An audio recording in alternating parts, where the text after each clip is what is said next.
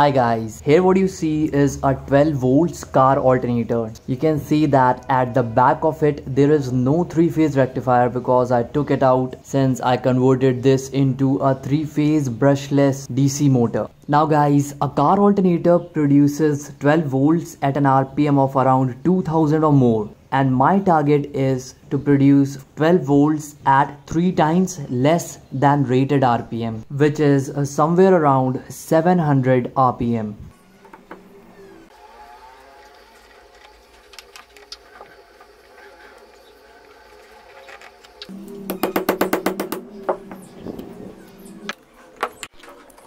So guys, uh, these four are the wires coming out from the armature winding. Now among these four, there is one tapping point because it is a star connected winding. Since this terminal is the thicker one, so uh, the probability is high for the tapping point to be this one. So let's remove it so guys here you can see the tapping point the remaining three are uh, normal all the wires are coming on and joining at this point uh, so what I have to do is desolder it and remove the tapping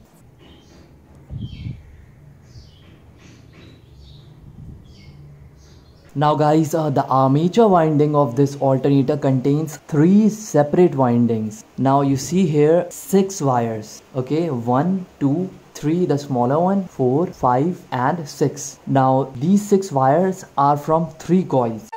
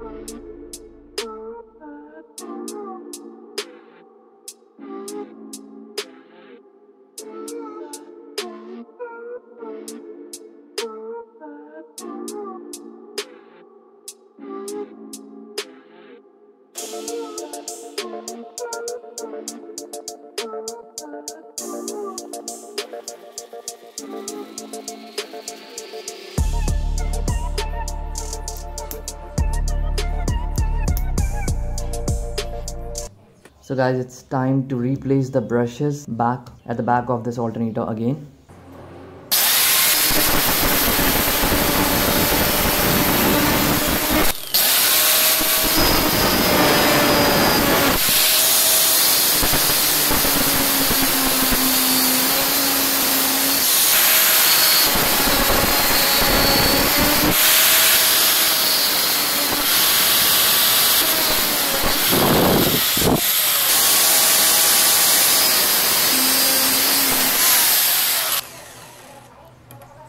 okay so guys now the wiring has been done and also space has been created uh, for installing the new wires. Let's install it.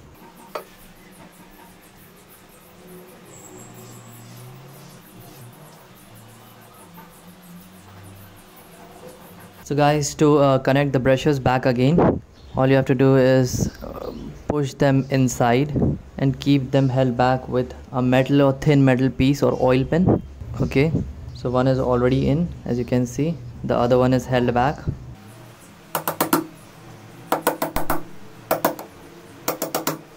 Okay so guys the case has been installed as before. Now I have to remove this metal wire to make the brush get in contact with the slip ring. Okay so now it's in contact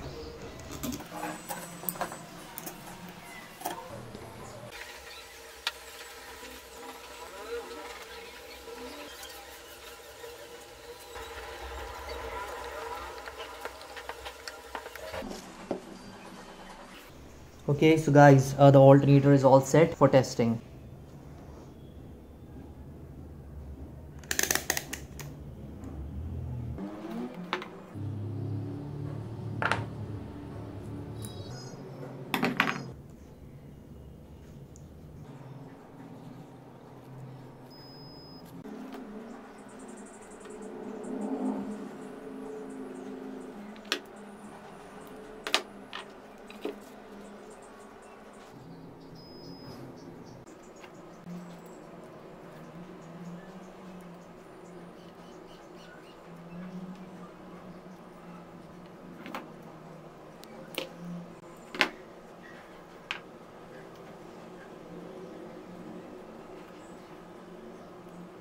So the phase wires will be connected in series to increase the overall armature winding voltage per phase. So three phases will be connected in series.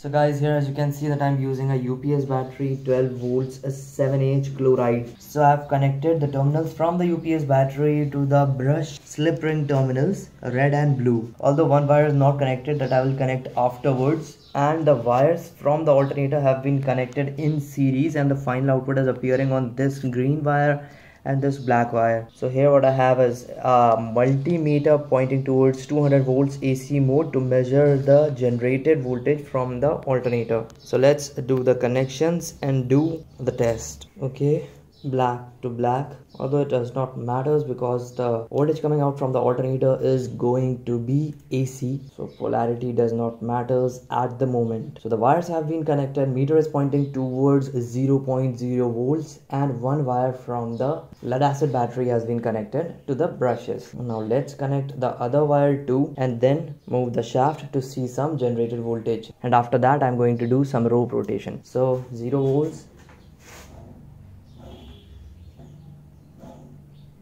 so maximum that I did was 3 volts with hand rotation. Okay the thread has been wound. Now I have to touch the terminal to the battery. Okay the connection has been made. Keep watching the screen. Whoa. So guys as you saw that I uh, generated around 14 volts AC uh, with the help of this alternator with simple rope rotation which is really awesome which means that uh, the series connection the modification that I did are actually working. A little higher rpm somewhere around uh, 2000 and it is going to produce 36 volts. So guys uh, this is the royal enfield headlamp bulb that i'm going to use to connect to this alternator and test its power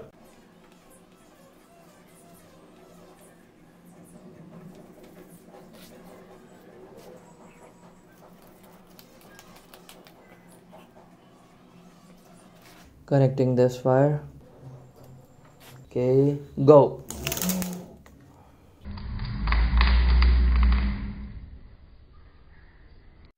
Okay so guys this is a single phase rectifier 35 amperes which i'm going to connect. So uh, as you can see here uh, the plus positive terminal and this is the ac the black and red are the ac if this one is ac then the diagonal opposite is also ac so these two will be connected to the black and green terminal from the alternator. One is done. Comes the second one. That also is done. Now finally the output will be DC and will appear on blue and black. So let's connect a meter again. So guys as you can see I've connected uh, the rectifier and the terminals of the meter and now it is pointing towards 20 volts DC mode although this uh, brush brushes and uh, the rotor system has not been excited I will connect the wires. So I wound the thread. Now it's time to connect the blue terminal the rotor winding. Okay that being done watch the meter screen.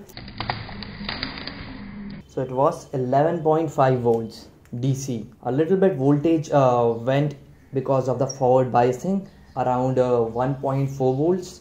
And now guys since the output is DC I can also measure the output current since I have changed uh, the winding connections let's see the impact of that. Okay. Watch the screen. Around 5.81 amperes is what I produced by the rope rotation test. So the total power that I produced was around uh, 72 watts so guys, here what you see are three rectifiers 35 amperes single phase which will be connected to the output terminals of the alternator. This is a 38 watts solar panel. Now I am going to measure its voltage. You can see I have pointed out uh, the meter towards 200 volts DC mode because its voltage is going to be more than 20. As you can see it's 20.1 volts. Now measuring its current and this panel is very old almost 8 to 9 years old. And you can see it is still producing 1.5 amperes DC now this is a 60 watts 12 volts car headlamp bulb. 60 watts meaning that it will take somewhere around 5 amperes from a DC source. So I have connected the solar panel output terminals and as you can see that it is not glowing because obviously the current from the solar panel is not high enough. Now the three rectifiers are here on which the base I will keep the vise and the vise is for mounting the alternator and the three phase wires independent windings will be connected to the three independent rectifiers and the output of the rectifier will be connected in series to increase the voltage at the same RPM three times. The final output will appear on this blue and red terminal, red being positive and blue being the negative terminal. You can see the brush terminals are still not connected, red and blue these two wires will be connected to the output from the solar panel which this video is about so let's connect the output of the rectifier to the multimeter in 20 volts DC mode to measure the voltage being generated by the alternator after its excitation with the solar panel. So the solar panel wires have been connected to the brush or rotor terminals of the alternator and the alternator rotor winding is excited now. Now let's wound the thread and measure the generated voltage with the help of the multimeter and as you can see the generated voltage was 9.22 volts. Let's try once again a little harder and as you can see the voltage has increased by 10.25 volts DC. Now since the output from the rectifier is direct current so I can also measure uh, the current 10 ampere mode. Okay.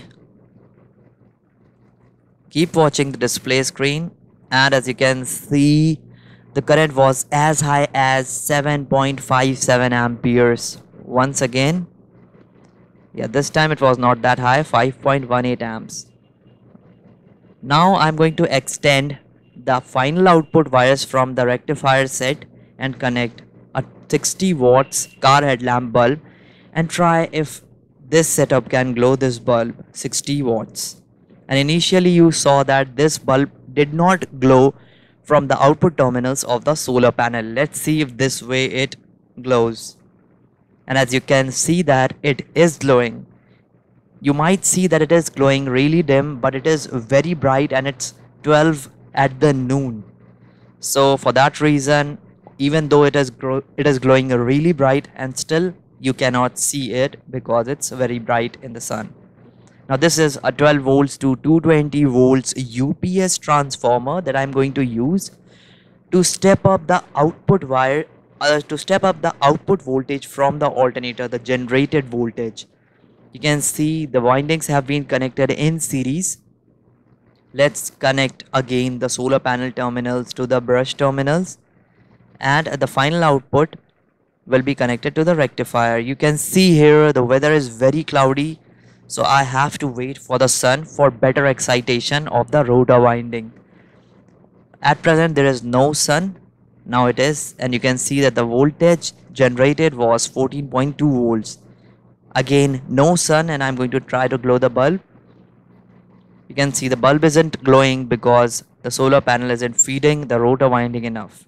And now it is glowing because now the output from the solar panel is good enough for a 100 watts bulb to glow so guys now what I'm going to do is excite the rotor of field winding with a 7H UPS battery and step up the armature overall output voltage with the help of a 220 volts UPS transformer and to the output terminals I'm going to connect a multimeter pointing towards uh, 750 volts AC. I'm going to follow the same procedure of winding the thread and connecting the two terminals of the brushes to the battery. Winding is excited, watch the screen and you can see the generated voltage is somewhere around 234 volts. Here you can see 272 volts on the second try. Now I'm going to try the same 100 watts bulb inside the room, not in the sun. It's a 220 volts 100 watts usual incandescent bulb. Terminals have been connected to the UPS output. Winding has been excited. Keep watching the bulb. And as you can see it is glowing bright. Let's turn off the lights and try again. And you can see that it is much brighter now. Cool. So I'm removing the bulb and connecting a simple 9 watts LED bulb. It is glowing really bright and also it is not hard enough for me to glow the bulb by rotating the alternator. This is a 200 watts LED halogen that I'm going to try and glow if this alternator can handle this big load. So every wire has been connected. Okay you can see that it is easily glowing to full potential the LED halogen lights very nice. Okay so guys that would be all about today's video. Thank you so much for watching it. Please hit like and don't forget to share and subscribe. Thank you